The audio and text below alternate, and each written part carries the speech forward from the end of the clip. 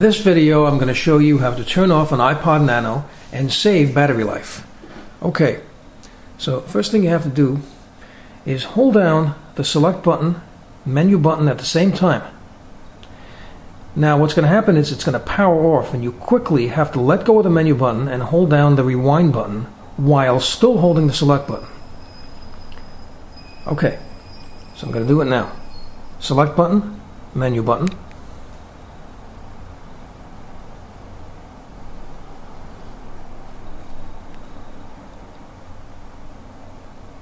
Okay, now we're in diagnostic mode. Now to navigate, what you have to do is you use the forward button and go to height power, push the menu button.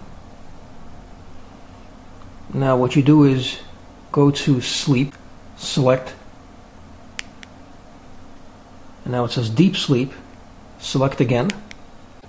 And now your iPod Nano is turned off. Now what you can do is you can put the hold switch on and this will lock the buttons so if you keep it in your pocket or you push it by mistake it won't turn on. So this will preserve battery life and to turn it back on again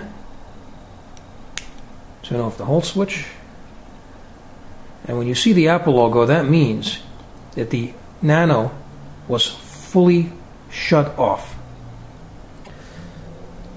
So I hope you found this video useful. If you have, please show your support for this channel by subscribing. Feel free to leave comments. Please like up the video and thank you for tuning in.